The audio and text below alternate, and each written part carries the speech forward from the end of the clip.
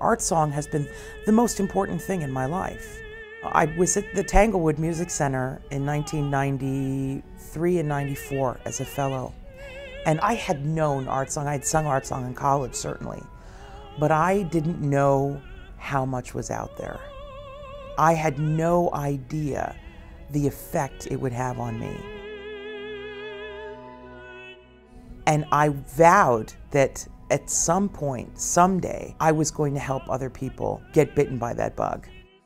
I think that sometimes uh, art song is given short shrift because students who want to become professional singers know that in the industry today, it is nearly impossible to have a, a career that is based solely in recital. Opera really does take precedence. It's where most of the work is and where most of the money is.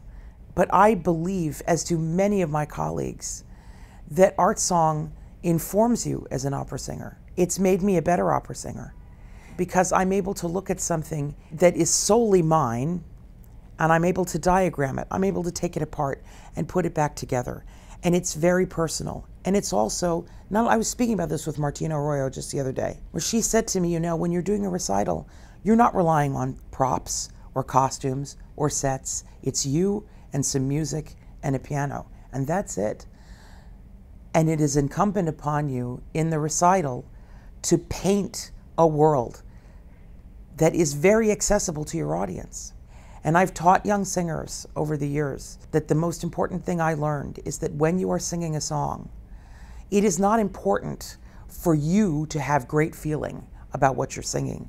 What's important is for the audience to have great feeling about what you're singing. The audience does not know why you are crying. The audience doesn't know your backstory. They don't know why this piece moves you. But if they hear something beautifully presented and that opens a story up to them, if the audience can connect and remember a moment in their lives that is very poignant, if they hear a poem sung and set well, and the audience says, Hey, I know what that's like. I've been there. I've had my heart broken. I've been young and carefree. I've, I've, been with, I've been with a family member who's dying. All of these different, I mean, these wide experiences that all of us have are reflected in art and in poetry and in music. And as an artist, if we can wake up those memories in the audiences, that's what's going to make them come back. That's what's going to make the audiences of tomorrow. Because they're going to want to be there, to be in that place again. And we're the ones who are going to help them access it.